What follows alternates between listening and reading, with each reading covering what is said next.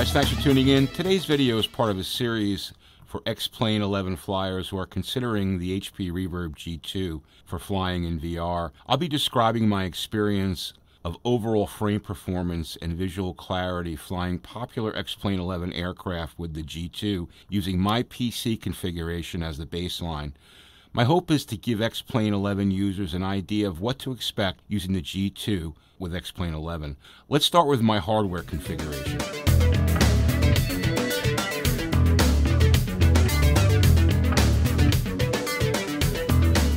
Here are my G2, SteamVR, and X-Plane 11 5.2 settings.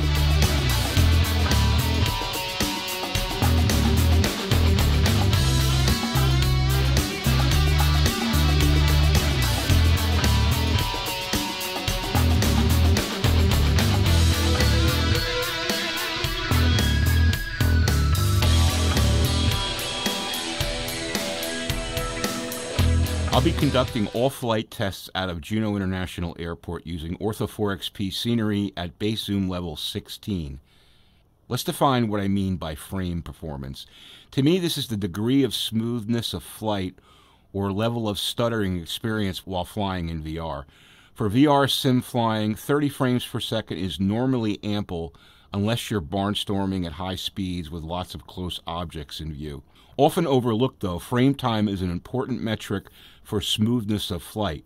With X-Plane 11, the type of CPU, GPU, RAM, and disk use all have an effect on frame performance. X-Plane 11 tends to be CPU centric, so the more cores you feed it, the smoother the performance is going to be. I recently upgraded from a 4 to 8 core CPU and saw a big improvement in frame performance. Your results will vary, of course, depending on your PC configuration.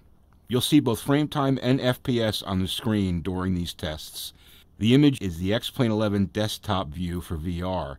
I've minimized all other apps and screens, so resources are available for X-Plane 11 and the G2. I'll be describing what I see in the G2 VR headset. Alright guys, today I'll be test flying the stock C-172 with G-1000. I thought this would be a good aircraft to start with since it's really so widely used amongst uh, X-plane uh, pilots. I'm going to be going back back and forth between describing visual clarity and frame performance as I see it as we go through the test flight and you can see the metrics on the upper left there that gives you the information um, available as I'm flying. And again, I'm in the HP Reverb G2. And here we go.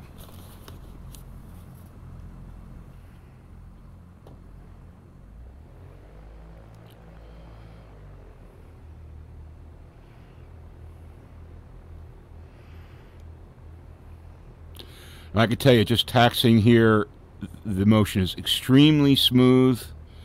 The visuals are excellent, very crisp and clear. I can easily read the markers of the runway and see the lines and actually the flaws in the pavement, or the, I should say the paint on the pavement. It's very, very visible. So we're going to taxi over here, take off and do a quick uh, flight. The scenery in the distance looks fantastic. Very clear and crisp.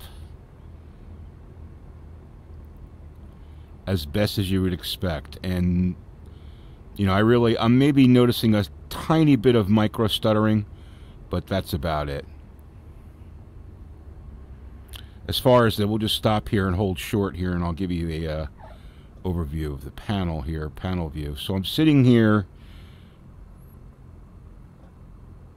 One second here, let me just get myself lined up here, and we'll get those brakes off or it brakes on, I should say. Okay, as I stop here and just take a look, sitting back in my seat, I can easily read all of the text on both uh, the PFD and the MFD and all the dials, as well as even the small text on the, the fuse panel and the switches, just by turning my head. Now, we know the G2 has a sweet spot, but as long as, even if I have the sweet spot centered here, I can look to the right here. Um, I'm going to use my um, use this to point out. So my sweet spot is looking like right here, and I can just move my eyes and look here and still make it out. It's a little fuzzy, but as I move the sweet spot there, it's absolutely perfectly visible. All right, so so no problem just sitting back. I don't have to lean in to read anything. It's extremely um, clear, I should say.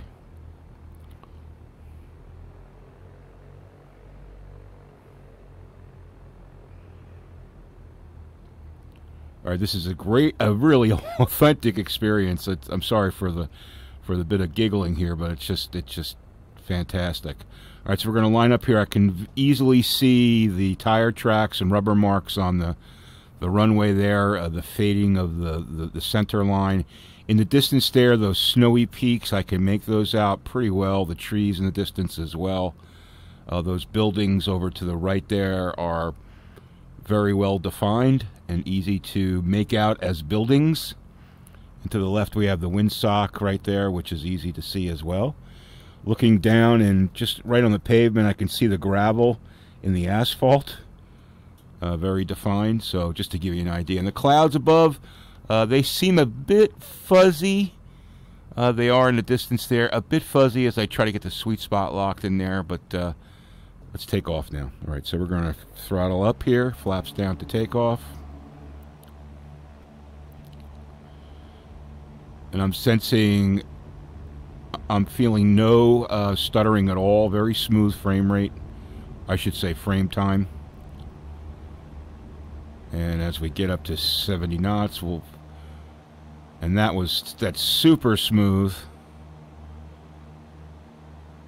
What an authentic experience just turning my head left and right and looking at the visuals. I noticed a little bit of micro stuttering, but still the um, immersion factor is very, very high.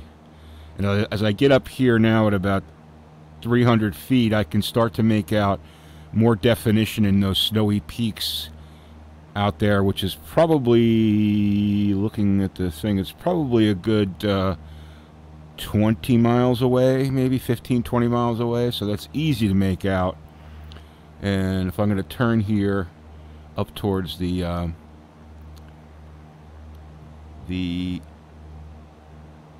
glacier, and I could make definitely see definition of the glacier. And as I look down, the buildings are all well defined easy to make out. And again, the fact that the immersion factor is super high. So again, we're still in very smooth frame time, if you will. So the the feeling is fantastic. We're just going to do a quick short flight here.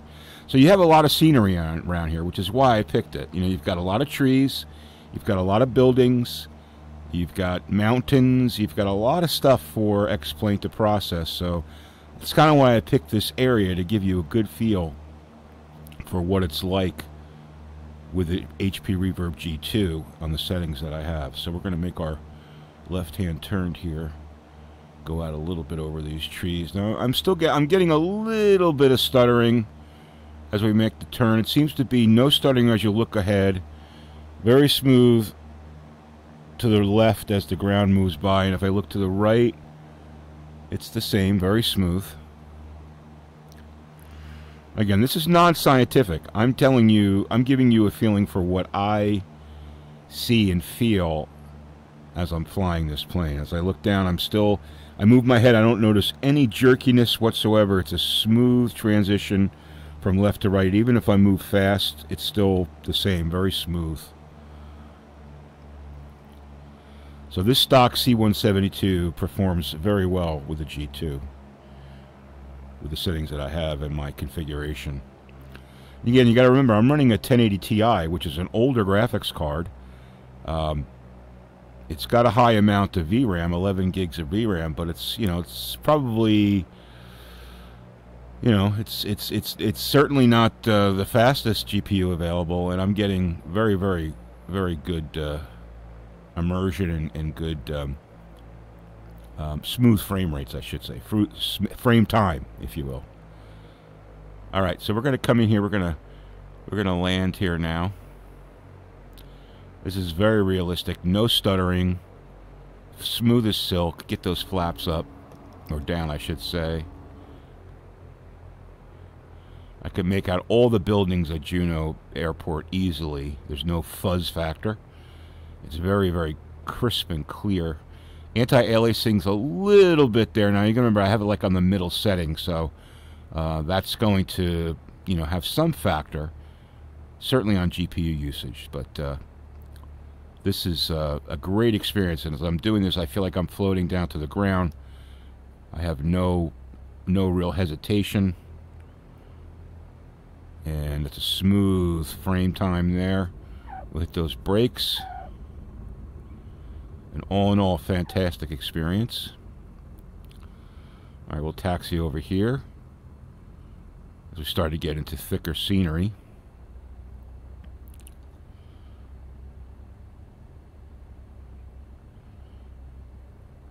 Now notice a little bit of micro stuttering. Not much, a little bit.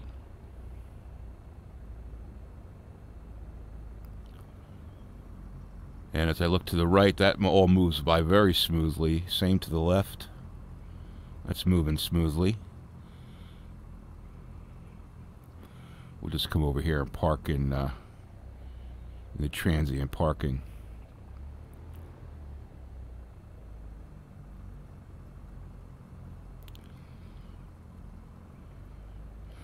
So these videos are meant to be quick tests of these planes, just to give you an idea.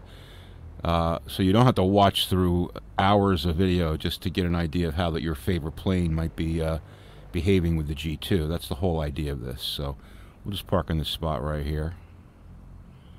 And that's it. So a very pleasant experience, very immersive, probably, well, I should say the best VR experience I've ever had in this plane in X-Plane 11. So that should probably tell you right there. I've been doing this for about four years. All right, guys, that's going to wrap it up for today's test flight. I hope this was helpful. Let me know what you think in the comments below, and please hit the like button if you enjoyed this video. And thanks for watching, guys, and have a fantastic day.